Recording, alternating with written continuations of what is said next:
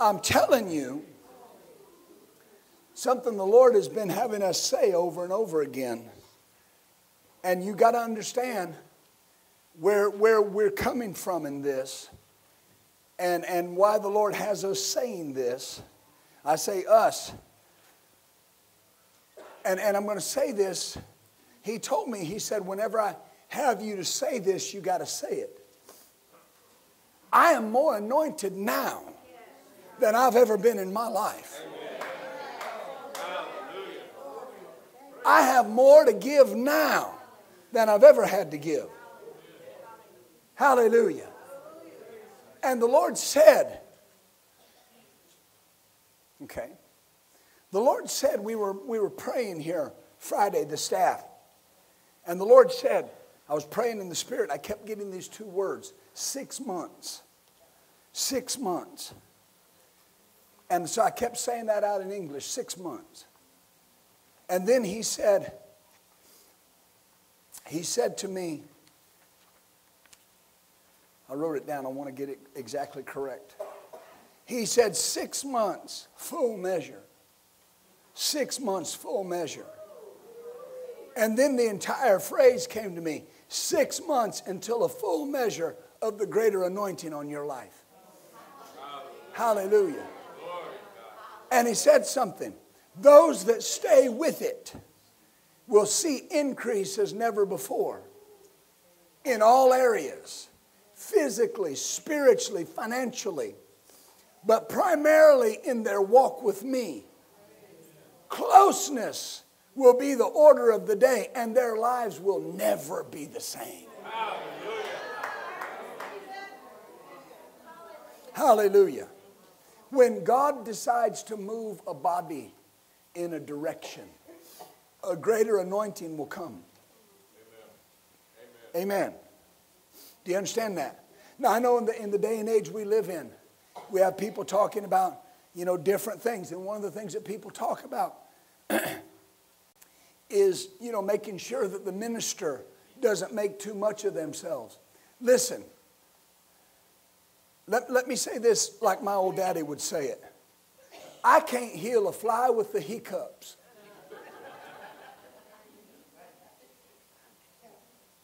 Amen. But God has placed that anointing in my life. I can't deny it. I can't get around it. It's there. And to do what God wants me to do, I got to get my hands on every sick person that I can get my hands on. To do what God wants me to do, we've got to preach the word of faith and put it out on every available voice and be ready to move when God asks. Are you following me? So when God says, You're more anointed now than you've ever been, it's because there's more need of that anointing. Now we're moving somewhere. The Lord said to me several months ago, and He said this, and I keep reminding you of this because I'm, I'm, I'm getting ready to receive the Lord's tithe and your offering. But the Lord said to me, He said, tremendous financial increase is coming your way. And He said, those that are close and those that are in, in, the, in the same flow, it will affect them as well.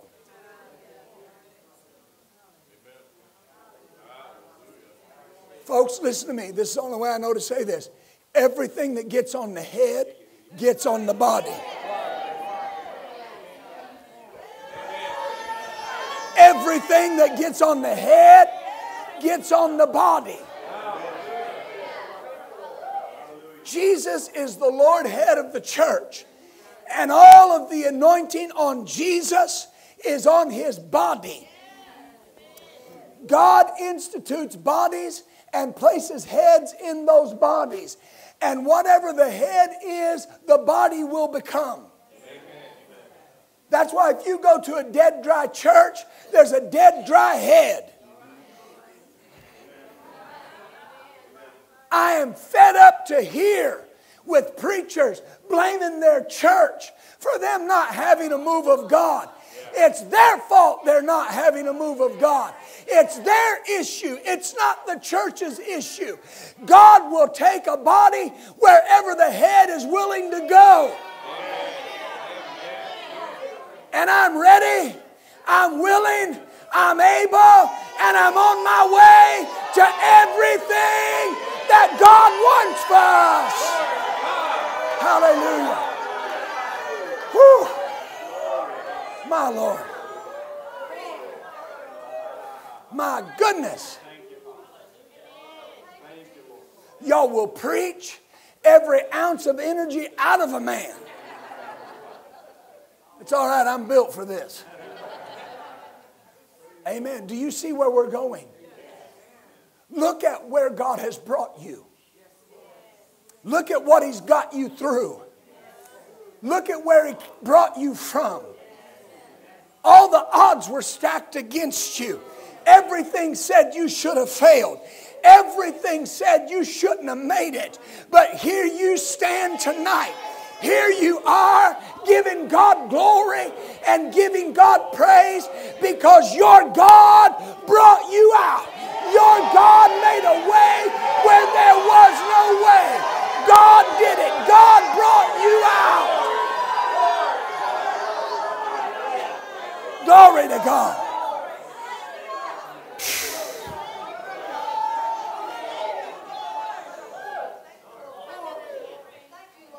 The Apostle Paul said in the book of 1 Corinthians, he said, We had the sentence of death within ourselves.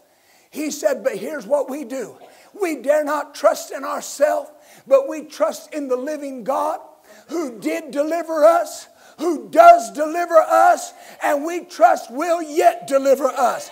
God did deliver you, God is delivering you, and God will always deliver you.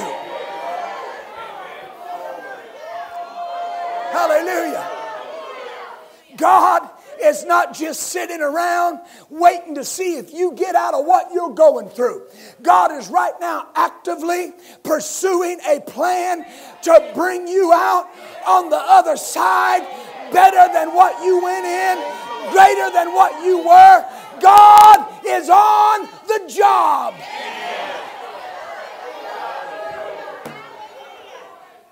Hallelujah. Hallelujah. Hallelujah. Hallelujah. Hallelujah. Hallelujah. Hallelujah. Hallelujah. Glory to God. Hallelujah. Hallelujah. Hallelujah. Hallelujah. Hallelujah. Glory to God. Hallelujah. Folks, there's something to be said for what the old folks used to say. Hallelujah. Amen. You know, sometimes, sometimes we, we kind of look disparagingly on those that went before us. And I realize they may not have had some of the revelation of what we have and the revelation of our words and the revelation that we walk in. But I'm telling you something, they knew how to put their trust in God. They knew how to believe that God would deliver them. They knew how to understand that God was a waymaker. They knew how to believe God to bring them out regardless of when it was, regardless of how he did it. They knew that God was a waymaker. They knew that God could do the impossible. They knew that God would bring them out. Hallelujah. There comes a time in everybody's life. How you like this offering message? There comes a time in everybody's life where you just got to believe God will do it. God will bring me out. I'm going to come out of this better on the other side. I don't understand why all this is happening. I don't understand why the pressure's the way it is, but here's what I know I was built for pressure because greater is He that is in me than He that's in the world. There's no weapon that can be formed against me that can prosper. God is going to bring me out.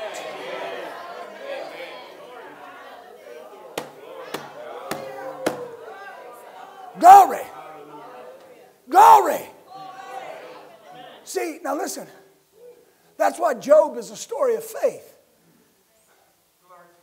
Job, he kind of gets a bad rap too. And he did. He made some mistakes. He said some things that weren't right. But boy, he got it on one point. Remember when his wife told him just to curse God and die? Right. You know what he said? You talk like a foolish woman. Now, here's where he messed up. He said, Are we going to receive good at the hand of God and then not receive bad? God didn't give him bad, the devil did. But here's the point. Here's what he said. Here's what he said. Naked I came into this world, and it's evident that's how I'm going to leave. Blessed be the name of the Lord. And remember what the Bible says after that. In all of his trouble, in everything he went through, God, Job did not charge God foolishly.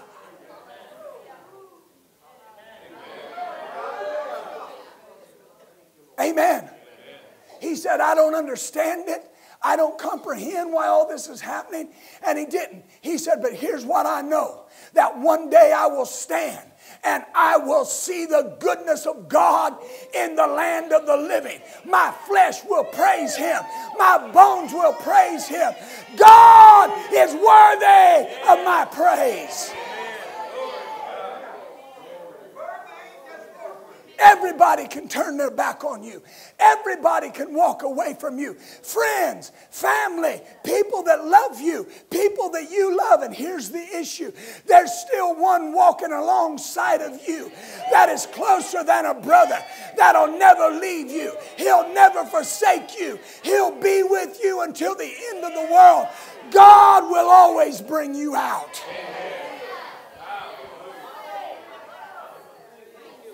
Always. Well, Pastor, how do you know? what does the word say? Am I helping you? We're about ready to take the offering. But I'm stuck there for a minute. God's going to bring you out. You know, sometimes, and, and I just feel compelled to say this.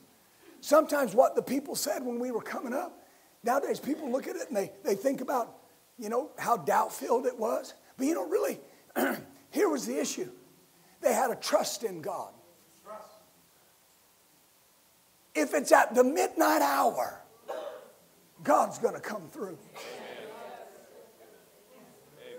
Now, I know we know better than, than to try to put it off till then now. Amen. But they had some saints in those days that would get on their knees and pray heaven and earth together. And they wouldn't let up on you till you were born again. They wouldn't let up on you till something changed in your life. Man, them old prayer warriors get you in their sights. It's over, Jack. Ship your sin and saddle home because you're saved and nothing nobody can do about it. Amen. You're going to get Mother Smith and Mother Jones and Sister Evelyn and Brother Billy Bob and Chiquita and Ray Ray and them, and they're going to pray you into the kingdom, and there's nothing you can do about it because somebody is trusting God. When you begin to trust in God, the situation is not the issue. The circumstance is not the issue. God is the issue. My trust is in God who made heaven and earth. And if God can make heaven and earth, God can make a way for you, even where there seems to be no way. If God spoke the world into existence with the word of his mouth, God will utter his voice and everything in your life will change.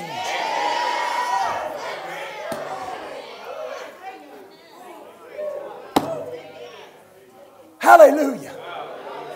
Yeah, but I'm struggling with this. All right. He brings out those that are bound with chains.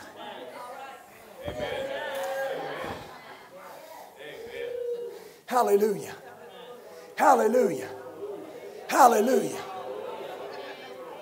They got on their knees and they prayed till something changed. They prayed until circumstances turned. They prayed trusting in God alone that that circumstance was going to turn around. Folks, I'm all about believing that you receive when you pray. I taught that message and I believe it. But there's something to be said for that person that just will not let go. They just will not give up. They will not back down or back off. They're going to pray till what they see that needs to happen in your life comes to pass.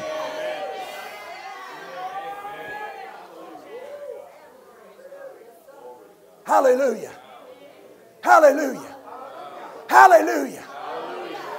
My grandmother used to sing a song I'm going to hold to the plow. I'm going to hold on. I'm not letting go. I'm going to hang on till I get the job done. Folks, there's a tenacity that goes with faith. There's a determination that goes with faith. There's an inward intuition. There's an inward strength that's got to rise up on the inside of you and say, I don't care what I'm going through. I don't care what it looks like. I'm going to hold to the plow. I'm going to do what God told me to do. If mama don't go, I can't help that. If brother don't go, I can't help that. If everybody leaves me, I can't help that. I'm holding on.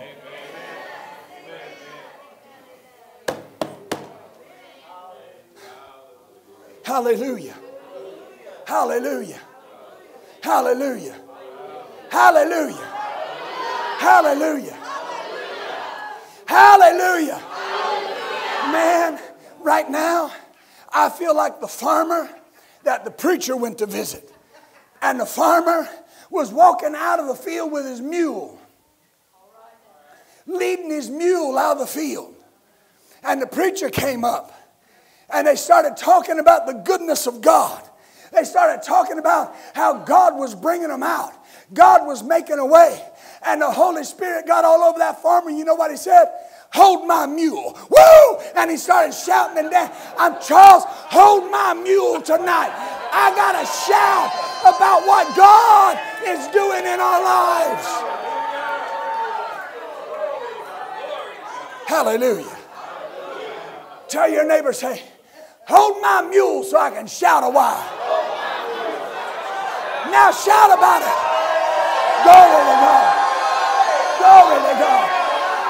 To God.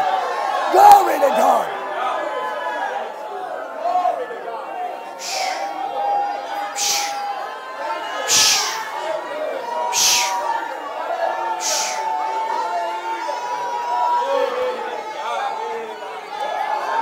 Glory.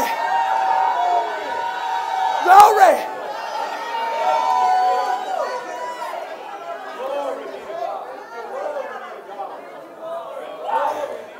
My Lord. You can sit down for a minute. Where's them ushers? The ushers will be in an aisle. They'll help you with an envelope.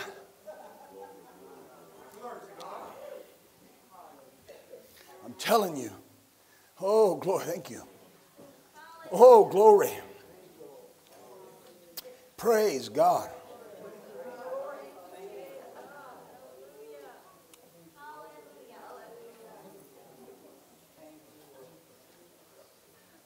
Lady, I'm telling you something. I don't know that I know you. If I do and I have forgotten, please forgive me. You about there. It's just a matter of weeks. What they said is going to happen won't happen.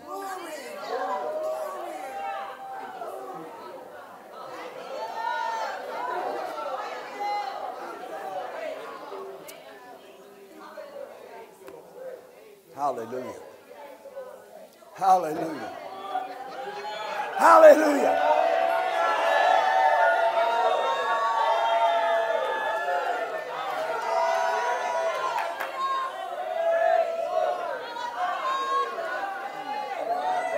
Glory. Start with breast cancer, phase stage three. Thank you, Lord.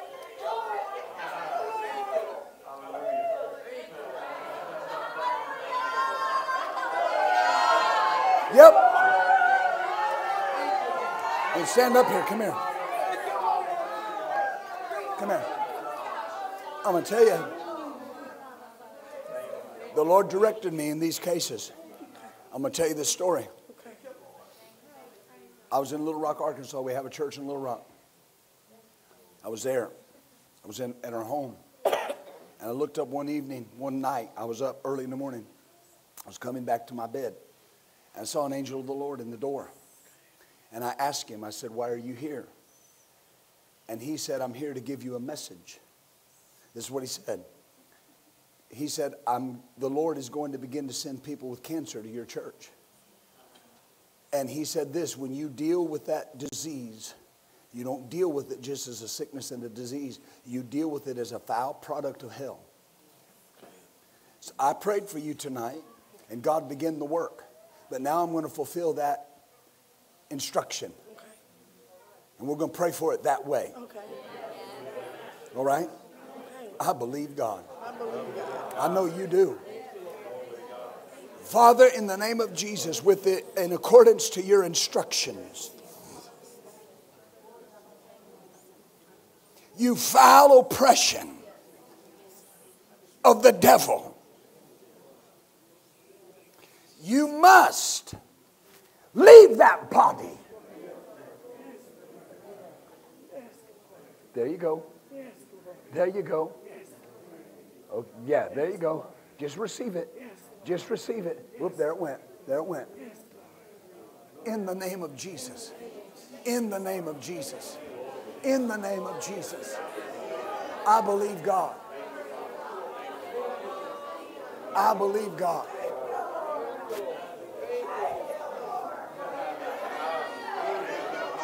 Thank you, Lord. Thank you, Lord. Praise God. Praise God. Thank you, Lord.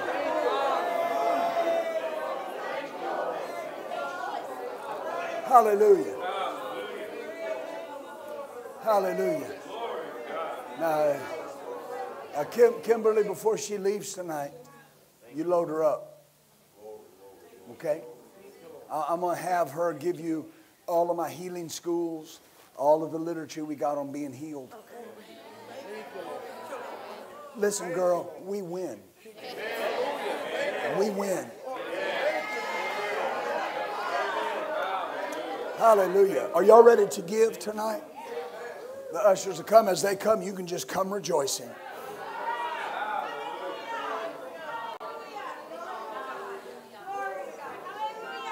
Where's Amy? Where's that handkerchief y'all brought?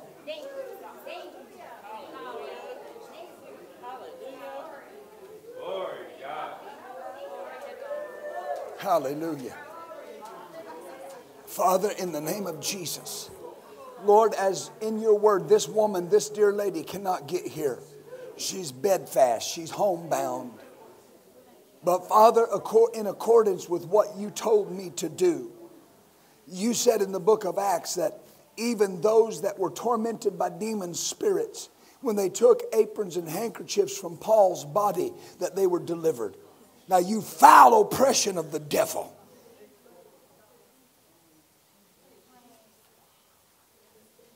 Loose that body in the name of Jesus.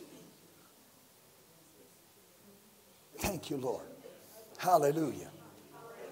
Praise God. Praise God. Hallelujah. And Jay, I come into agreement with you that your repentance and your change of heart will be seen and it will be known and great favor will be on your life. And even as you make requests, it will be seen and God will move on your behalf in Jesus' name.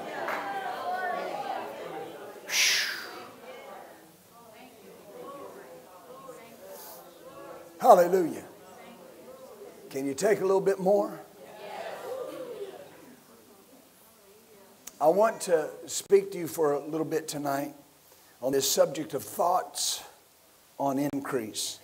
Now, that's what the Lord told me to say, to, to, to, to talk about this. And uh, we're entering into this season of increase.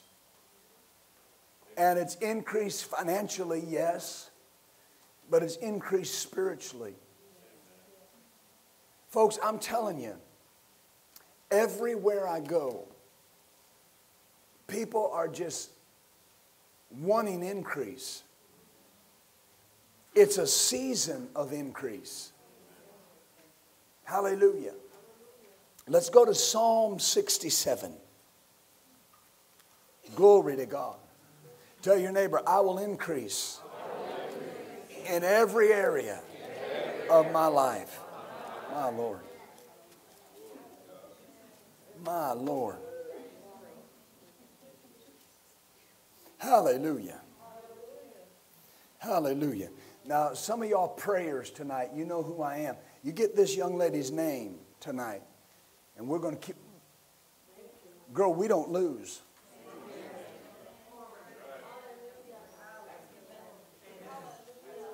And you know, there's a time, and, and, and again, I don't know, but there's a time you need the family of faith just to come around you and say, Look, I know you've been fighting this, and you've been fighting this alone. And all the fear and all the torment that the enemy brings into your life, dying, leaving loved ones alone, uh uh-uh. uh. You will not die, but you will live and declare the works of the Lord. Hallelujah. Hallelujah. Hallelujah. Thank you, Jesus. Thank you, Jesus. Folks, I get mad at that. I get mad at the devil for putting disease on people. That's, that's the most evil, wicked thing. The only thing that makes me more angry is when the devil makes a kid sick. That makes, I, that makes me so angry. Hallelujah. No, we're a cancer free zone. Amen. Psalm 67, verse 5. Let the people praise you, O God. Let all the people praise you. Notice, then shall the earth yield her increase. And God, even our own God, will bless us. God will bless us, and all the ends of the earth shall fear him. Now, notice from these verses, we see something. The earth is supposed to yield its increase to the people of God.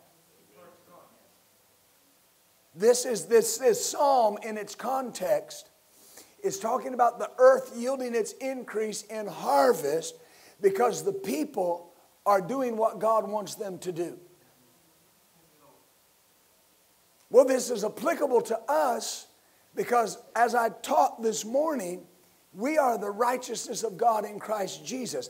We are sons of God, male sons, female sons, by birth.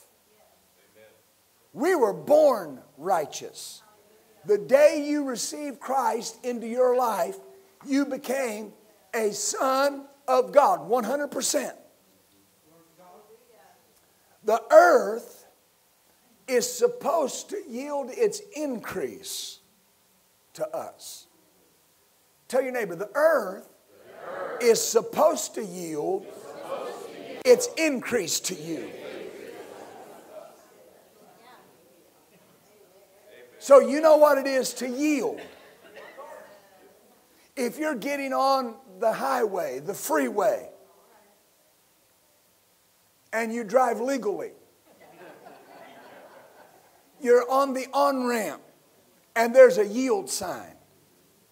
Well, you know what that means? There's oncoming traffic, yield to oncoming traffic. Here comes the child of God, and the earth is supposed to yield its increase to me.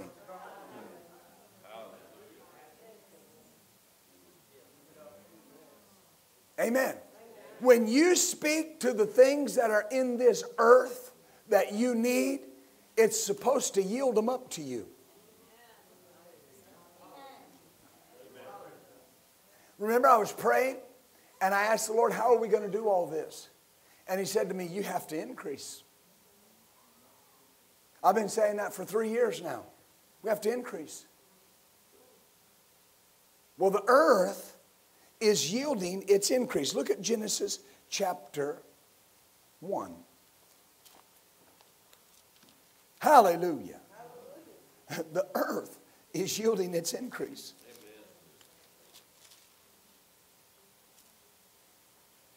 Genesis 1 26.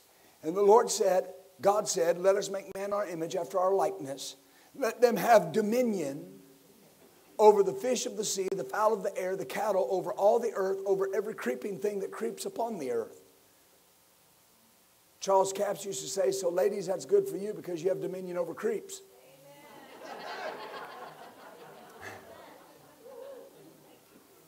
So, God created man in his own image, and in the image of God created he him. Male and female created he them. And God blessed them and said, Be fruitful, multiply, replenish the earth, subdue it, have dominion over the fish of the sea, the fowl of the air, over every living thing that moveth upon the earth.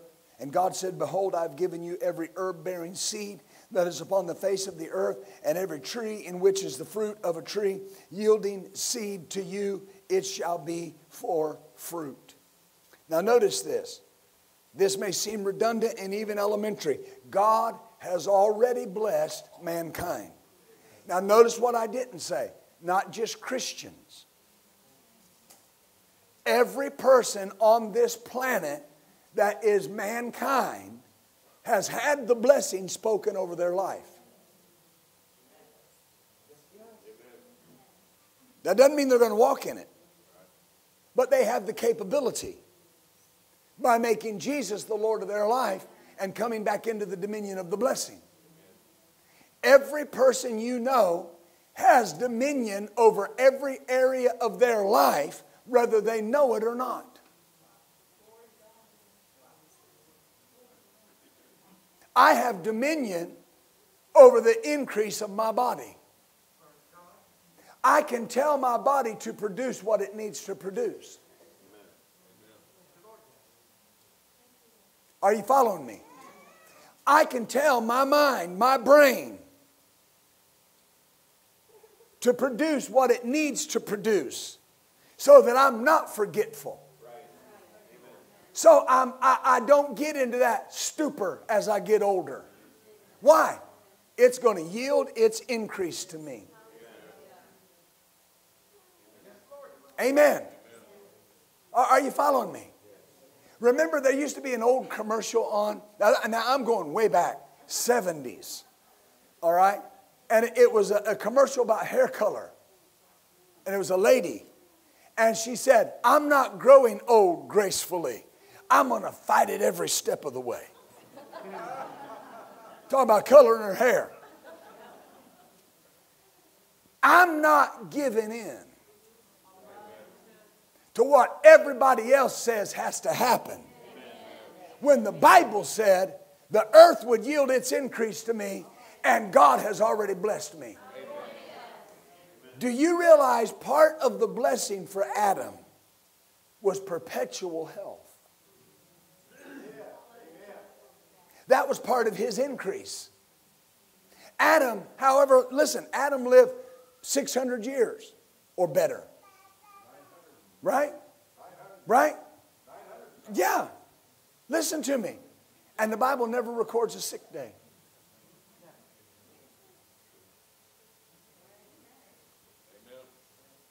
I don't know if he got sick or not, but I know the Bible doesn't record it. The earth is supposed to yield its increase to us. Everything that the blessing holds I'm supposed to walk in it. Now look at chapter 2 and verse 8. And the Lord God planted a garden eastward in Eden, and there he put the man whom he had formed. Now notice, who planted the garden? God planted the garden.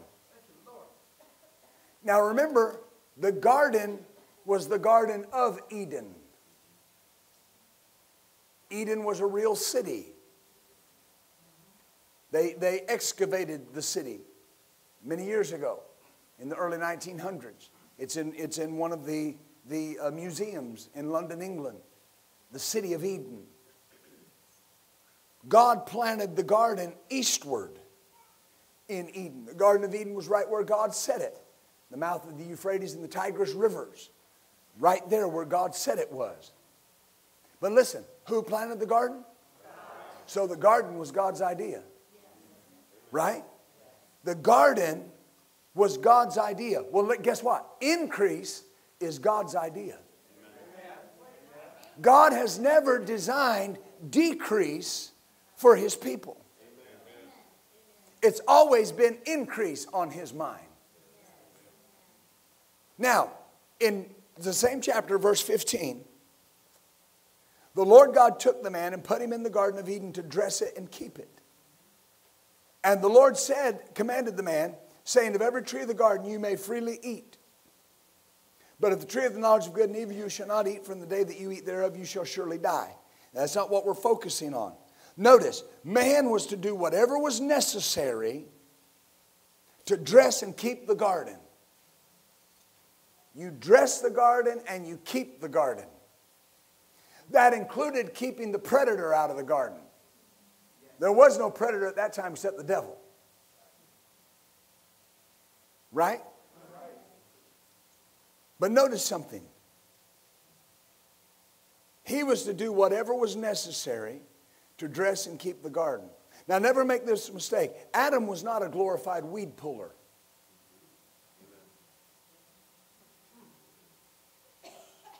Neither are we.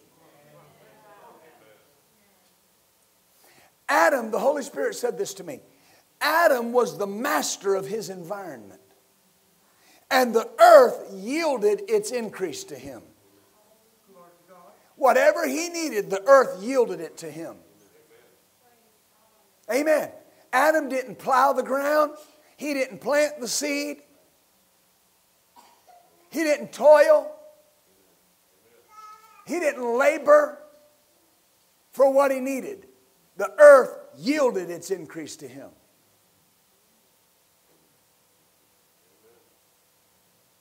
Why? He was the one in charge.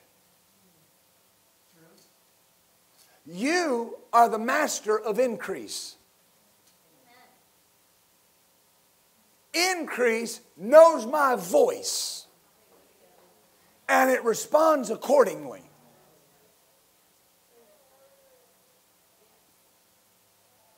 Say it out loud. Increase, increase. Knows, my voice. knows my voice. So say it now. Say, increase, increase. Come, to me now. In Jesus' name.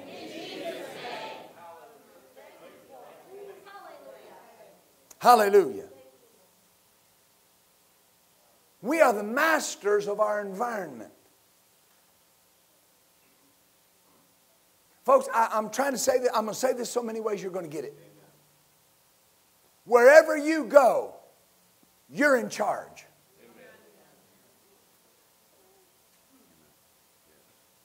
See, you might have a supervisor on your job, but you're in charge.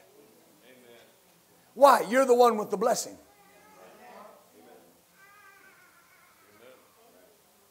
You understand? I said, Do you understand? When you walk into the store, you're in charge. Favor's coming to me. Well, how do you know that? Because it's got to yield its increase. I said it's got to yield its increase. When, when, when, when, when, when you go into a restaurant, you're in charge. When you're negotiating for a raise, you're in charge. Let, let me go over here where they're not so half hearted. When you're negotiating for a raise, you're in charge. I'm in charge. Why? I'm the one with the blessing. You will yield your increase to me. So, okay, say it with me. Everything, Everything goes my way. Goes my way. Well, how do you know that? I'm in charge. Eventually, that situation will turn and increase will yield to me. Why? Has to. That's how it was designed in the beginning. Now, listen, I'm not going to spend a lot of time on this because this is not the focus of this message. But if you truly believe that Jesus really undid everything Adam messed up, and that you are really under that same blessing that he pronounced over man in the beginning in the Garden of Eden, you've got to believe every word I'm saying. Because we've not been brought into a half measure of what Adam had.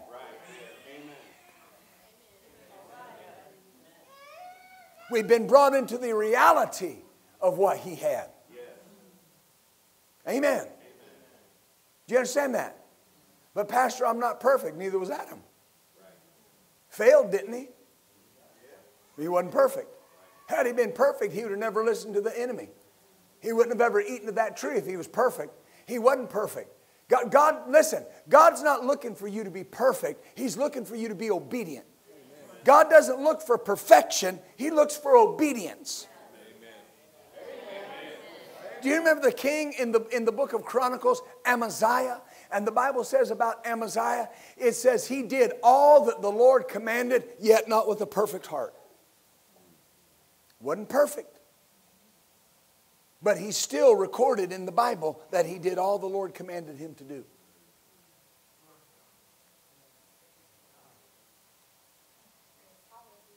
You'll miss increase by trying to choose perfection over obedience. Increase is wrapped in obedience. How do I know that? Isaiah 119. If you're willing and obedient, you will eat the good of the land. Now stop right there and think about this. What did the very first scripture we, re- we read say? The earth will yield its increase. If you're willing and obedient, you will eat the good of the land. We would do that scripture no harm by saying, if you're willing and obedient, the land will yield its increase to you. What's the key? Obedience. Amen. When I think about this for a minute, I'm not just talking about being obedient to sow a seed, obedient to do something big. How about this? How about this? How about just being obedient to believe that the earth will yield its increase to you? Amen. How about just believing that? Just being obedient to do that. Folks, listen, I'm not looking for some big windfall. I'm not looking for somebody to come to this church and give me $100 million. Well, Pastor, that could happen. Well, of course it could happen. And I wouldn't, I wouldn't say no if it did. But here's the point I don't want to live windfall to windfall. I want to live in a constant state of increase. Tomorrow's better than today. Next week's better than this week. Next month is better than this month. Next, next year is 10 times better than this year. A consistent state of increase. How about just being obedient in that? So start right now. Look at your neighbor and say, I will increase. I will increase. Tell them, say, the earth, the earth will yield its increase to me. Now, I need you to really hear what I'm saying tonight. Hallelujah. I increase. You increase. Your marriage increases. Your family increases. Your job increases. The anointing on your life increases. The church increases. Glory to God. Matter of fact, one place the Bible says we increase with the increase of God. Do you think God increases? I do, and that's the increase we increase with.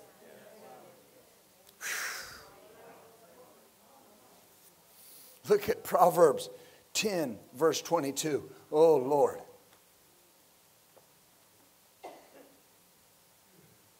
Hallelujah. Well, last I checked, Proverbs was in the Old Testament. I was over there around Matthew. I'm increasing. Now, you know this scripture, but I'm going to keep saying this to you because this is what the Lord keeps saying to me. I need you to hear these familiar scriptures like you've never heard them before. Folks, familiarity stops more people from receiving revelation than any other thing I know. Yeah, yeah, I know that. Yeah, yeah, blessing the Lord makes rich. Yeah, yeah, yeah. You just missed it. You just missed it. because we can quote those things. There are scriptures we have that are pat scriptures that we go to. I heard Leroy Thompson preaching a message one time. He was preaching at one of Brother Hagin's camp meetings in the early 90s. And you know, Dr. Thompson was a little, little more brash than I would be, and, and that's, that's fine. But he was preaching at, at camp meeting, and uh, he made this statement. He was preaching on, and, and the way he said, impact pat confessions.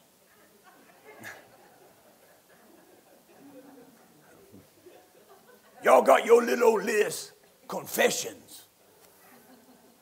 I'm not making fun of confession, I confess. And, and he wasn't either. But here was the point he was saying. Here was the point he was making. That very often we're just so quick to say a scripture without it being, in his words, a rhema to us. A rhema word that's speaking something to me. That's why I've said for years, you're better off, you're better off to have one scripture that really speaks to your spirit than you are to try to confess a hundred in a day. You can run the devil off with the begats if it's if it's if it's revelation to you. Amen. So when we read this scripture, it can become very cliche. Yes, yes, the blessing of the Lord makes rich. But wait a minute, have you thought about that? The blessing of the Lord, and, and guys, if you can throw that up there in the Amplified Bible, Proverbs 10 22, because it emphasizes something. Am I helping you tonight? It emphasizes something. In the Amplified Bible, it says the, pro, the, the blessing of the Lord, notice, it emphasizes it. Now, my English teacher, her name was Mrs. Butt. I'm serious. Mrs. B U T T. You can imagine the fun we ninth grade boys had with that. But Mrs. Butt would be very proud of me because I am going to diagram this sentence. What is the inferred subject here? So when it says the blessing of the Lord, it, what, what would it be? So if we were diagramming this sentence in, in English, what would it constitute? The blessing. It makes truly rich. So stop, stop, stop, stop, stop. So there's a rich that's not true rich. Would that be right? And he, oh, so who did the blessing come from? So we could say, the Lord adds no sorrow with it. Isn't that what it says? Okay, I, I know we're in English class, so what does it point us back to? So we could say, He adds no sorrow with the blessing. Neither, watch, here you go, does toiling, here's the word, increase it. But listen to me. If it says toiling doesn't increase the blessing, then there's something that can increase the blessing. It's just not toil. You see that? And sometimes we, we miss that. Nothing of toil can increase the blessing. Faith increases the blessing. That, that's the only thing that increases the blessing on your life. Faith in the increase. So say it again. I increase, I increase. with the increase of God. Tell your neighbor, the earth, will yield its increase to me.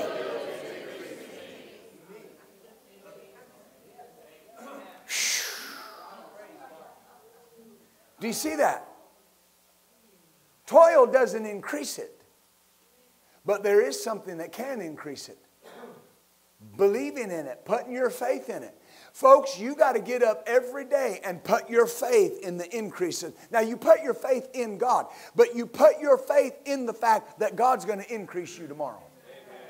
God can increase you before you get home.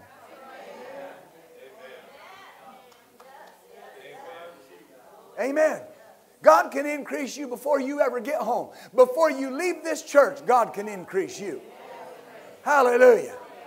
I say, before you leave this church, God can increase you.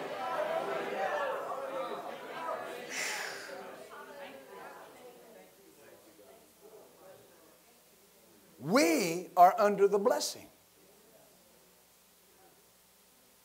I said, We are under the blessing.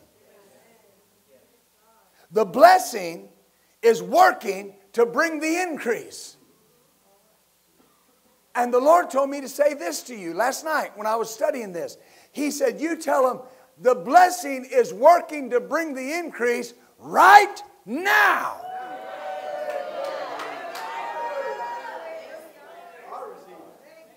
Glory to God. Hallelujah. Right now. The blessing is working to bring. Now, listen, here's why toil doesn't increase the blessing because the blessing is what is working. I can't increase it with toil.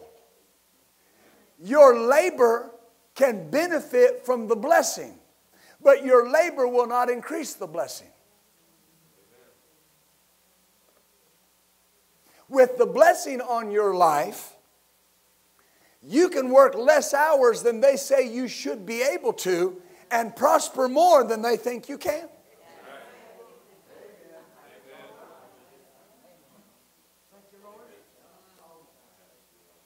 Happens to me all the time. Amen. Amen. With the blessing on your, oh Jesus, with the blessing on your life, you, you can take what everybody else seems and thinks to be a job that is subpar, but the blessing will take you to a place where the job that they said was subpar contains the greatest increase you could ever get. Amen. Amen. Amen. Over here where they believe me. Right? So Amy can take a job that people say, Why would you take that job? You can make more money over here. But she's led to be here. It's because in that job is more increase than what was evident in the natural increase. Natural increase will always be less than spiritual increase brought by the blessing. Amen. Amen. But I took a job that I'm overqualified for. Good, that means there's increase there. Because God will bring that job up to your level of qualification.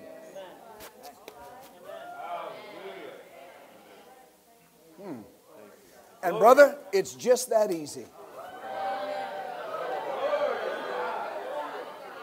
Glory to God. Hallelujah. That's just how easy it is to increase. Amen. Amen. You take a job working at McDonald's, minimum wage, and increase.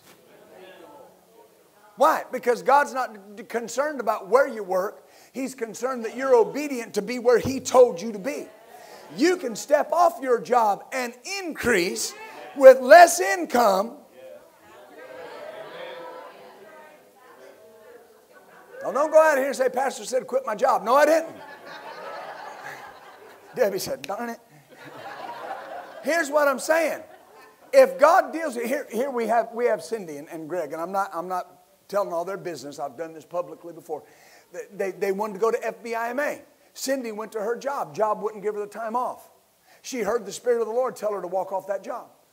To do it right. Now, she didn't just walk off, y'all idiots won't let me. No, that's not how she did it. She gave her two week notice and walked off the thing.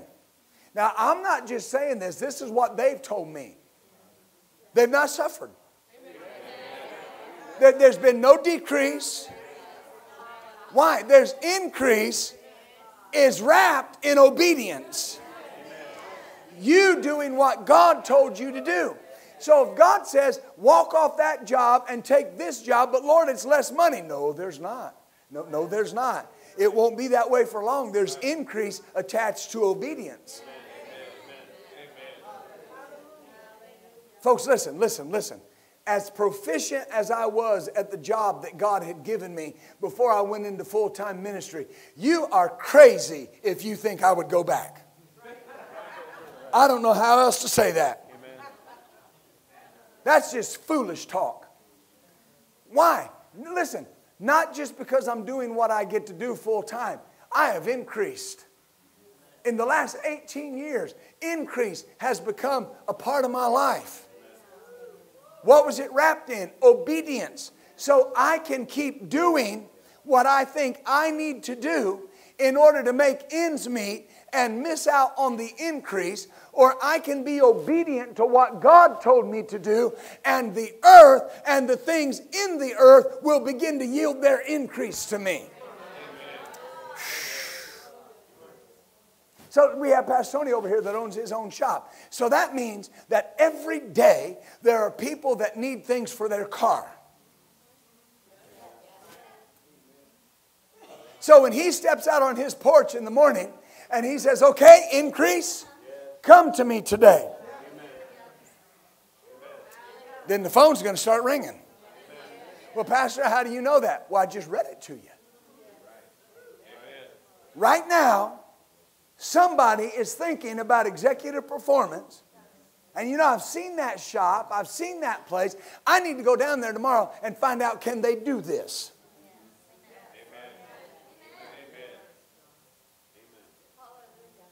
How do you know that? Because the Bible says that's how it works.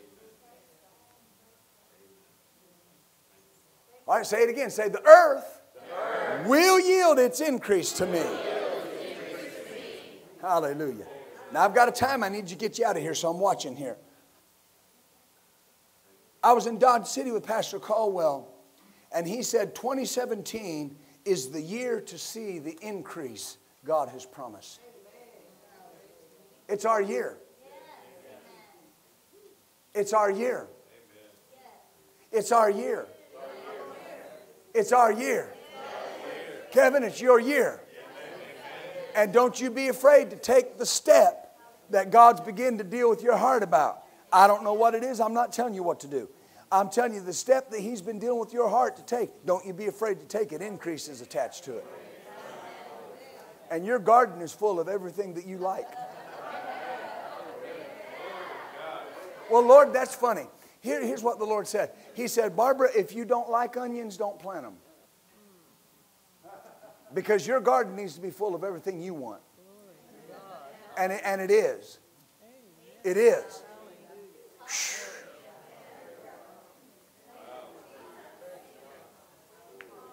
So, Debbie, you ever feel like your boss just doesn't realize how important you are? Because when I walked by there, the Lord said, You turn around and you tell her something. They're going to come to understand quickly how important you are to that company.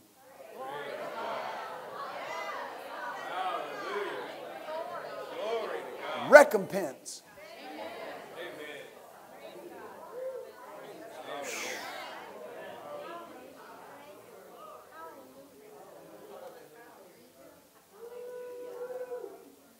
So, right now, the blessing is working to bring increase. Right now. And, and, okay, Lord, I'll say that. Listen, we, we talked about it in depth this morning. Folks, listen to me. This is God's idea.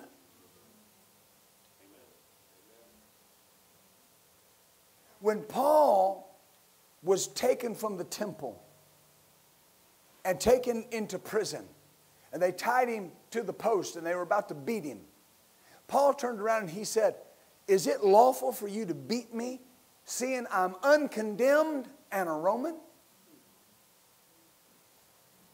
And the guy went and got the centurion. He said, Hey, you better watch what you're doing. This guy's a Roman. And he went in and he thought he'd figure something out. He said, uh, So you're a Roman? Paul said, Yep. That's a loose translation. You got to get you one of them loose translations. Paul said, Yes. He said, This freedom the centurion. Citizenship, in other words, cost me a great deal. You know what Paul said? You know what he said? Oh, it blesses me. He said, I was freeborn. It cost me nothing. I was born a Roman citizen. The increase is my birthright. Amen. Amen. I have to do anything to get it, but just be born in the family. Just be born in the family. It's on the way to me. Why? I'm in the family. Hallelujah. Listen, trying to explain or being asked to explain why you should prosper, that question should make no sense to you. What do you mean, why should I prosper? I'm a child of God. What do you mean? Makes, that makes no sense. It's like the person that came to the Jewish man one time, true story, and said, What does it feel like to be so prosperous? He said, I don't understand the question. Like I said, What does it feel like to be prosperous? He said, Forgive me, I don't understand the question. And finally, the guy said, What does it feel like to be prosperous? He said, What do you mean? I'm a Jew. We're taught and, and born expecting to prosper. That's the problem that the church has had. It, it took over 2,000 years for the church to mess up what God put in His Word. And somehow they started teaching that it's through toil and trouble and poverty and sickness and hard times. And so we're born expecting Christianity to be a hard old way. When the Bible says in the book of Proverbs, the way of the transgressor is hard. But the pathway of the righteous grows brighter and brighter. Glory to God. So I don't understand the question. What do you mean? What's it feel like to prosper? I don't understand the question. I was born into this.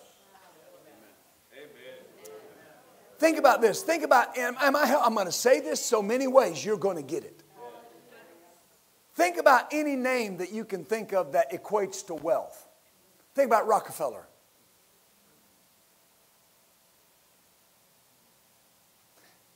One of the Rockefellers went to Arkansas. There's a place there called Petit Jean. Petit Jean Mountain. He has, there's a place that he had there, an estate. Listen, he went there for the express purpose of losing his money. So he got involved in the sod business. Made more money than he ever made.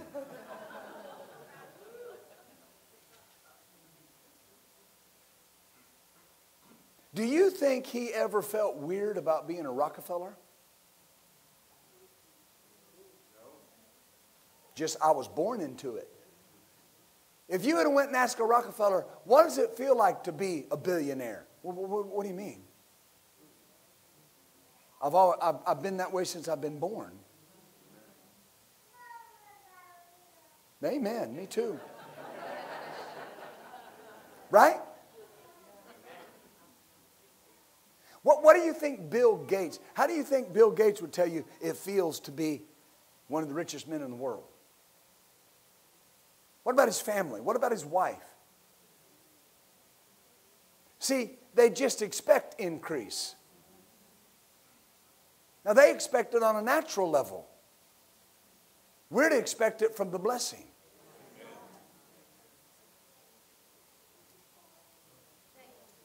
Well, Pastor, are you saying I can be a billionaire? How far can you believe?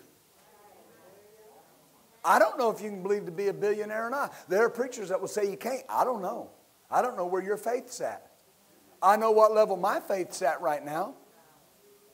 And I know I'm believing more for increase now than I ever have in my life. Amen. With that greater anointing comes a greater level of increase.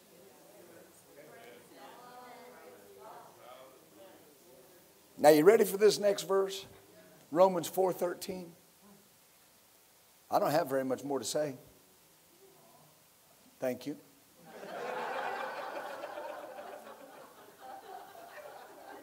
Since you feel that way, let me add a little bit.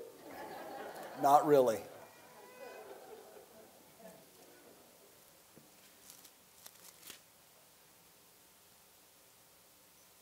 I'm going to tell you something about you all. I have ruined you. Here's what, here's what I mean by that.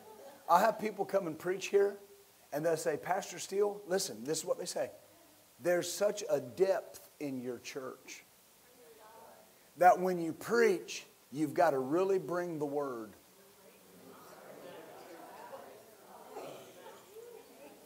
You understand that? You're to be commended for that. Everywhere I go, this church is talked about. Every minister that comes here, they say it's so easy to preach to your people. They pull on the anointing and they want the deeper things of God. That's such a blessing. Amen. And I can't blame anybody but me. So, amen. Hallelujah.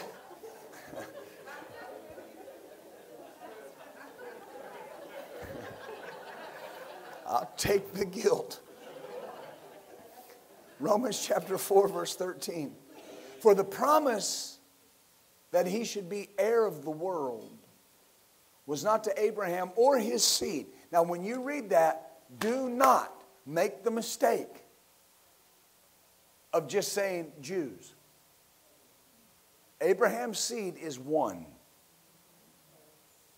Two aspects, one seed. So, this promise, notice this.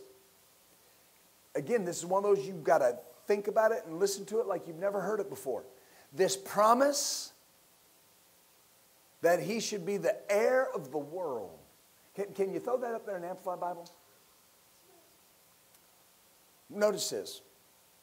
The promise to Abraham or his posterity that he should inherit the world did not come by observing the commands of the law, but through the righteousness of faith. One translation says, when God promised Abraham and his descendants that the world would belong to him.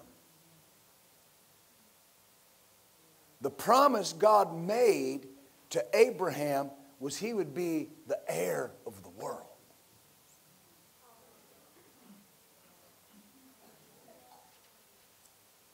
What's that do for your thinking? That's increase. Heir of the world. Now, if I'm an heir of the world, then that means everything in the world is at my disposal.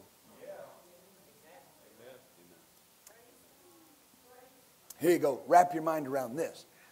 Who does the Bible say all the silver and all the gold belongs to? He did, didn't he? And who are you an heir of? God. And who are you a joint heir with? Well, the Bible says God gave Jesus everything that is His. And if you're an heir of God and a joint heir with Christ Jesus, then everything God has was given to you too.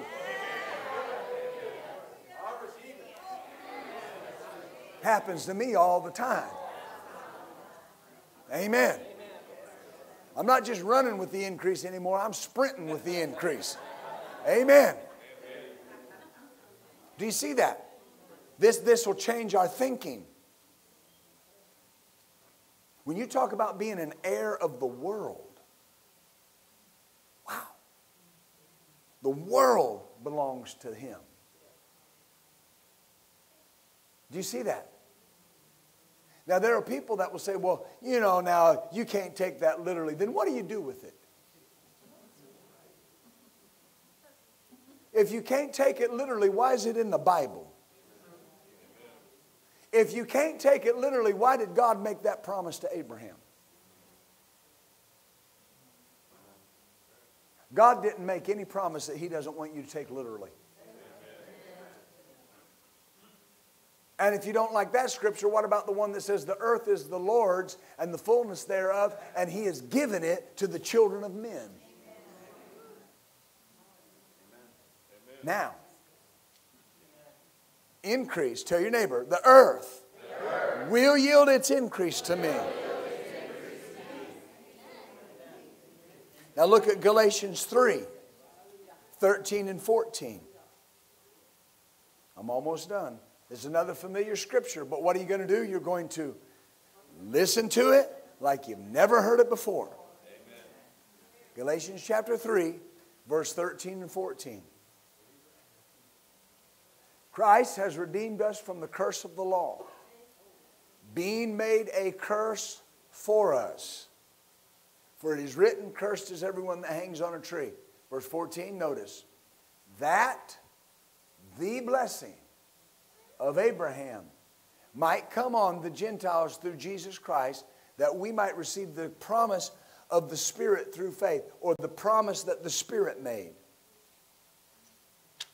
Now, understand, Abraham died with this covenant still intact. Now, listen. And God didn't break it. So this covenant's still in effect. Abraham died, and this covenant, what's the covenant? Heir of the world, was still intact. God didn't break it, so it's still in effect. And who was the promise that he would be heir of the world to? Not just Abraham, his seed.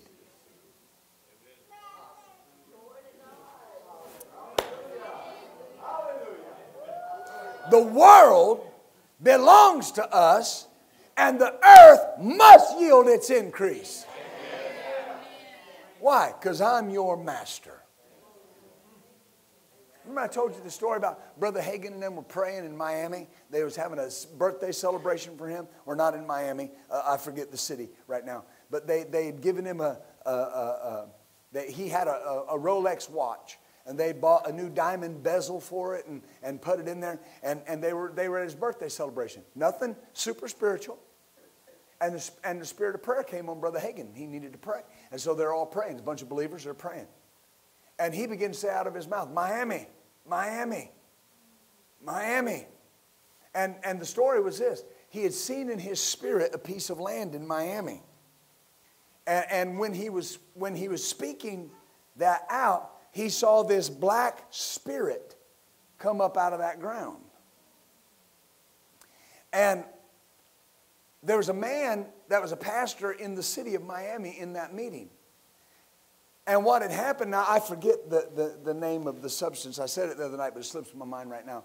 But uh, uh, they had used that land for a dumping ground of a, of a, of a certain chemical agent and, when, and they bought that land and didn't know it.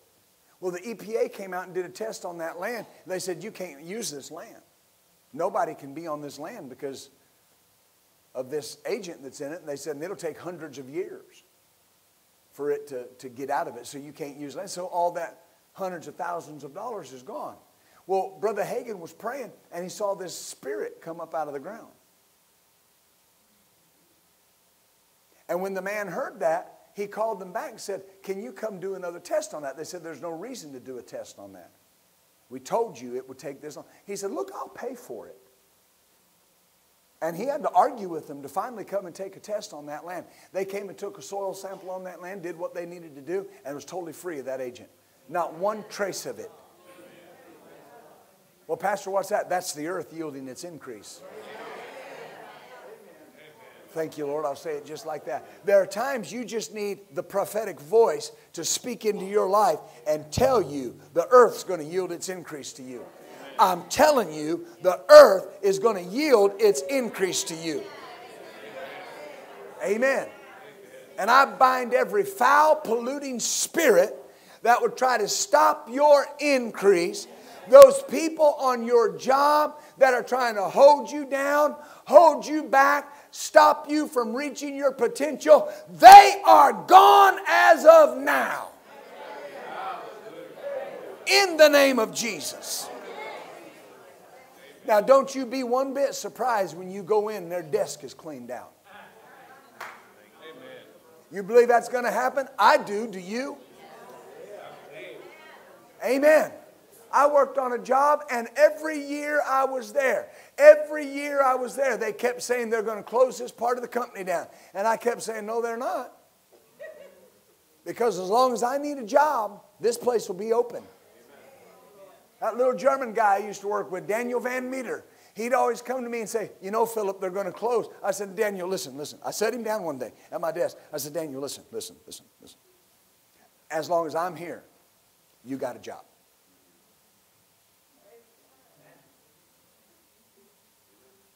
And he went, I don't understand. I said, Let me tell you a story. Let me tell you a story. I said, There was a guy in the Bible named Joseph. And I said, You know, everywhere he went, the place prospered because of him. You know, Potiphar thought he was really something until Joseph showed up. And then everything doubled and tripled. Why? Now listen, I, I know, I know, listen, why? The earth yielded its increase to him. Isn't it funny? Prosperity came to him. Joseph got put in prison, and the daggone prison prospered. Joseph prospered in prison. Why? The earth must yield its increase. But, Pastor, it can't be that easy. Okay. It's as easy as you say it is. You say it's hard, it's hard. They called me in the office one day and they said, Listen, listen, we can fire you. And I looked back at that lady and I said, You didn't hire me and you can't fire me. God gave me this job and there's nothing you can do about it. Pastor, why'd you say that? Because God did not create that company for the sinner. God created that company because I needed a job. Amen. And in just a matter of weeks, both those people that said they could fire me got fired. It's not about me. But I'm telling you, don't you form a weapon against somebody that the earth will yield its increase to. Don't you do it. Don't you ever be on the side of forming a weapon against somebody that the blessing's on. Because as much as the blessing brings goodness into your life, it is a terrible opponent for them that want to bring destruction into your life. Just as swiftly as it'll bring goodness into your life, it will bring destruction into their life. Hallelujah. It's just the reciprocal of it. Hallelujah. I've told people over the years, don't you form a weapon against me. Don't get off over there on Isaiah 54 and start forming weapons against me. It won't end good. But, Pastor, that's a little cocky. No, it's not. It's the Word. Amen. That's why what the Lord said to Debbie, they better start appreciating her, or God will send somebody that will. And then it'll be too late. That land we've been talking about, it will yield its increase to you. Amen. Man, I feel like telling the devil tonight. I feel like telling the devil, go ahead, knock it off. Amen.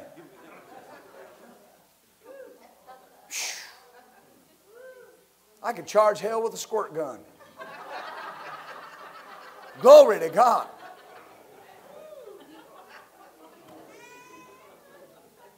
You and I have been legally placed as sons of God. Okay, okay, okay. Hallelujah. Their words will turn back on them because they can't affect you. No weapon formed against you will prosper, and every tongue that rises up against you in judgment, you shall condemn it. This is the heritage of the servants of the Lord, and their righteousness is of me, saith God. So when people talk and they say, and I'm saying this prophetically, when they talk and they say things and they run their mouth, their words will turn back on them. And what they say is going to happen to you will happen to them. Okay, Lord, I'll say that too. And there's nothing you can do about it. There are people that have been saying things and doing things, and you do with this what you need to do with it. There are people that have been saying things and doing things, they've sealed their fate. They won't change, and they keep saying and doing what they're doing, and they've been doing it for years, and they've been doing it for months, and they've been doing it over and over again. And God sent me here tonight to tell you something. He's done with them. He's done with them. And they're going to have to change and repent, or He's no longer extending His hand of provision to them. Hallelujah. So don't try to change it. Just keep increasing. Tell your neighbor, the earth will yield its increase to me. Now, I'm, I'm almost done. Bear with me. Look at 1 Corinthians 3 6 through 7. Now, you know these verses, but I'm, I'm, for the sake of time, I'm going to get to them. Paul said, I planted, Apollos watered, but God gave the increase. Now, I know the increase in context in those verses is the Word of God. But listen, here's the focus who gives the increase? God gives the increase. So, what does that tell us? Increase is God's idea. Oh, Lord. Folks, listen. okay.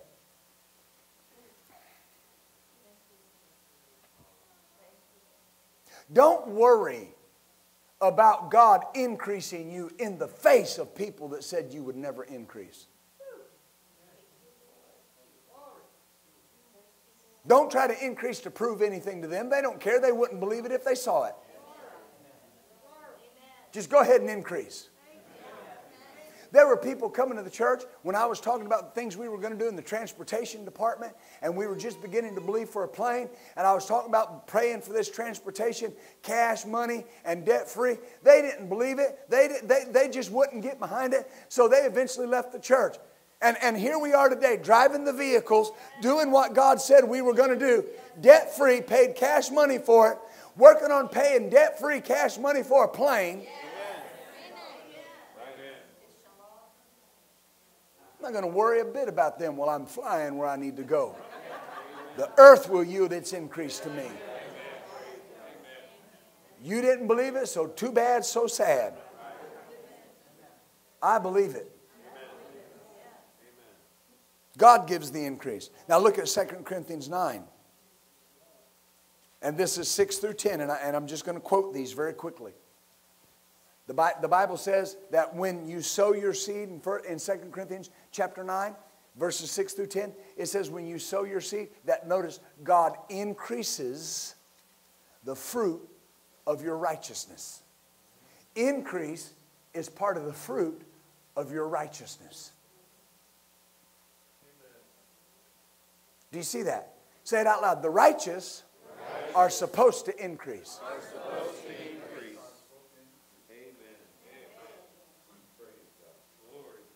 So when we say over the offering raises and bonuses, we're not playing. Folks, I'll tell you what my wife told me standing at the, at, the, at, the, at, the, at the stove cooking breakfast one morning. And we were believing God for something. And it seemed like everything the enemy could do to try to, to try to make that thing look like it wasn't working right. And she had that spatula in her hand, and I was sitting there at the, at the island, you know, just minding my own business, just enjoying the morning. And man, I'll never forget, she turned around, that hand on one hip and that spatula, and she said, I'm not playing Philip Steele. What I preach works. yes, ma'am. But I say that all the time. I tell Tony that all the time. What I preach works. It works. If you work it, it works. Part of being righteous is increase. Now, one last scripture 2 Corinthians 9 11 through 13. Notice what it says. Oh, praise the Lord. Then I'll share with you what the Holy Spirit said and we'll be done. Being enriched in all bountifulness, which causes through us thanksgiving to God for the administration of this service not only supplieth the one of the saints, but is abundant by many thanksgiving unto God.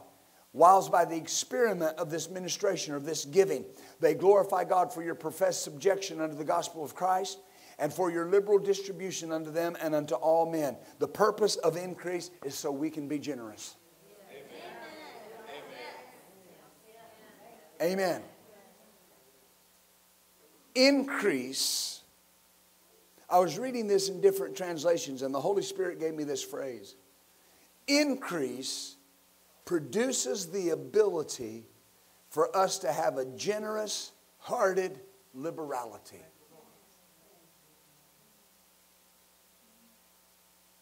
Hallelujah.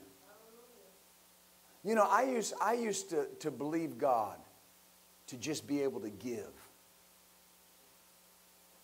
I wanted to just be able to give to people all the time. Now, hear me when I say this and hear my heart. I'm there. There's not, there's not one opportunity that comes my way that I can't give to. And you know, it started with a dollar here or there, or five dollars here and there. Amen. Now it's nothing to give somebody a hundred dollar bill. Amen. Somebody was telling me today about their son. John was telling me today about Wes and, and what, a, what a witness that car that was given to him is. And how he tells people, they say, Where'd you get that car? Oh, somebody gave it to me. Gave you a car? And he says, Yeah, my church, two people gave me a car. Talk about opening a door. And then I got the, the picture of him putting in his new stereo last night. Yeah. That was all, that was all paid for. Amen. Listen, but but but where, where did that start? Increase. Now, let me finish with this. When God knows that you're free from covetousness, selfishness, pride, and arrogance, He's ready to move you into extravagant, abundant living. When God knows if He can get it to you, and then you will give it to whoever He tells you to give it to, more's coming. and you won't have to give it all away. But here's the thing what you do give away will multiply.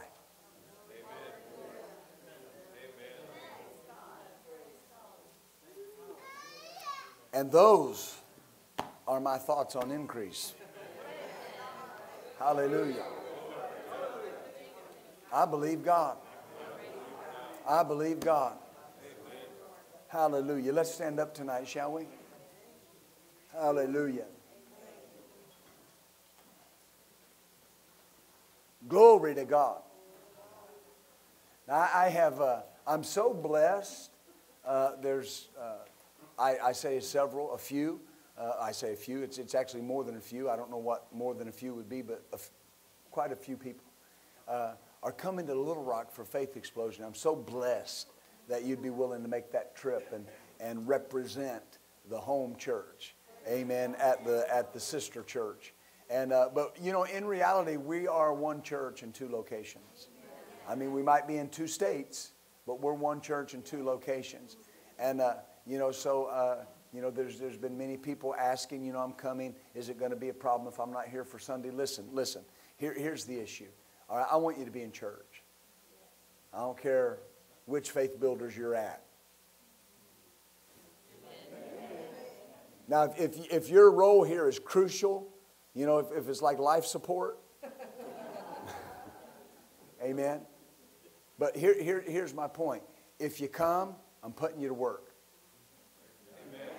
So, all you guys that are coming, get ready to usher. Amen. Uh, that was weak. now the thing, well, I don't know. Man, I feel led to be here.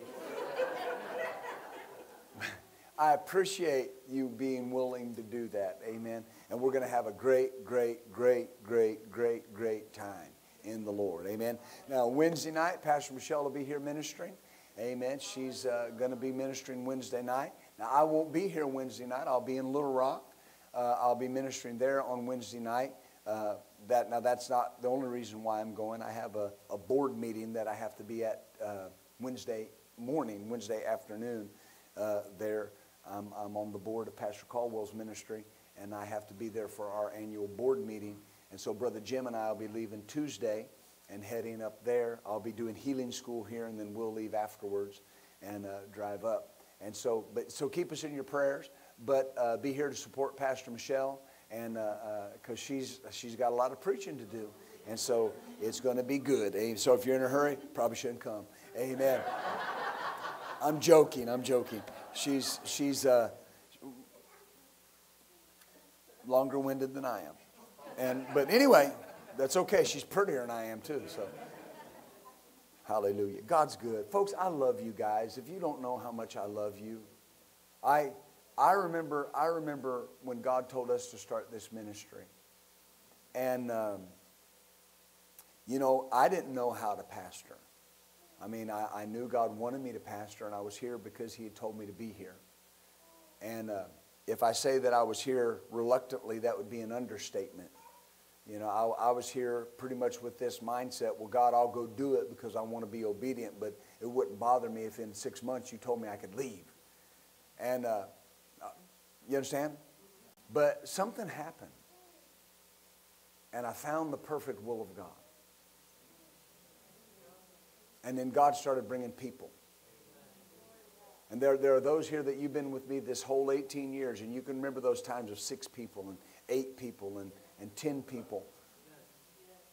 And how we would preach to eight people about the impact this church was going to have to the nations. And you got eight people in your congregation, but you're called Faith Builders International. Well, here we are.